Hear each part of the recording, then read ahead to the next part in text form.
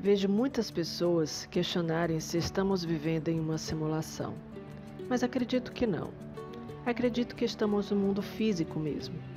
Entretanto, com base na tecnologia vigente e na que está em construção, eu me questiono se o caminho que a humanidade toma não é exatamente o da construção de uma vida plena em um mundo de simulação.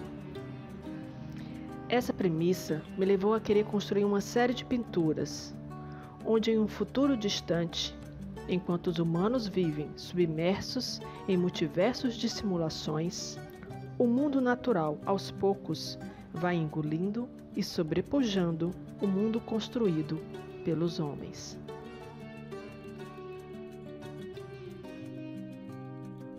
Como você imagina esse futuro?